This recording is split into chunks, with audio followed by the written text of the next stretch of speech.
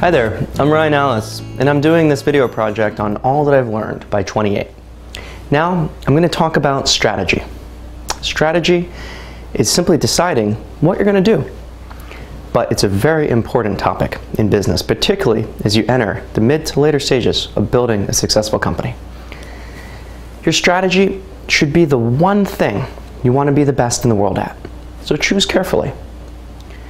One of the things that's important in terms of thinking through strategy is bringing together lots of information from many different sources, understanding the market, technological trends, what your competitors are doing, looking at your funding resources and the team that you have, and figuring out what collection of systems and processes enable you to do things differently and better collectively than your competitors. And so it's important as well when you're thinking through strategy just like with innovation, do it in a group that is small. Do it in a group that knows each other well and can be brutally honest when necessary about their opinions, thoughts, perspectives, and perspectives on the data that is being brought to the forefront. So I think it's a key principle about strategy is to never create strategy initially in a room of more than four people. Strategy is best set in this small type of environment. Any more and you might go in endless circles of discussion and analysis paralysis. You want to work with your heads of operations, sales, marketing, technology to start. At least that's been my experience. So here are, you know, eight potential people that might be in this room and you want to choose four of these individuals.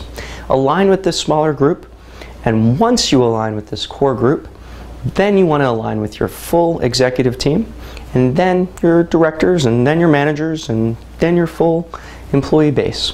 Align with the core first, then align with the rest of the team. Now, it's important to bring feedback all the way up through the organization from the front lines of people directly interacting with the customers on a daily basis. So gather your information and have the processes in place to collect the information and bring that up and enable your executive team and your core team to have the right information to make the right decisions. And then it's okay to go out of the room to get good feedback and get perspectives, but align first with a small group and then expand. So what is strategy? Strategy is a collection of unique processes that work in unison within your company that enables your firm to be the best in the world at one thing. Too many firms lose their track by trying to be the best in the world at five things or to try to be number two or number three at something. If you focus on being the best in the world at one thing, you can often achieve that goal. And when you achieve that goal, then you can see if you can expand to being the best in the world at something else. So strategy ultimately is about trade-offs. It's about making decisions. It's about choosing not only what to do, but just as importantly, what not to do. Now, in the beginning of a startup, strategy is important, but it's almost done without a lot of thinking because it's simply the vision of the initial founders executing toward a product idea that they have.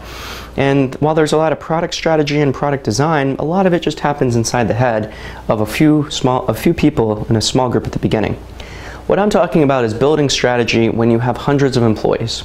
At iContact, we got up to 300 employees, and I learned a lot in my nine years there in how to set strategy and how not to set strategy as a leader of a team that was leading the organization. At the end of the day, strategy involves choosing to perform activities differently than your competitors. And so you can copy your competitors in some areas, but ultimately you need to actually take only some of what your competitors are doing and do things differently that are more effective, more efficient, and end up providing more value to your customers. Ultimately, strategy is about finding ways to take advantage of the assets you have and the assets that you can bring to bear to create value for humanity. And thus, strategy is critically important in any growing organization. Thanks for watching this section on strategy. Look forward to chatting again with you.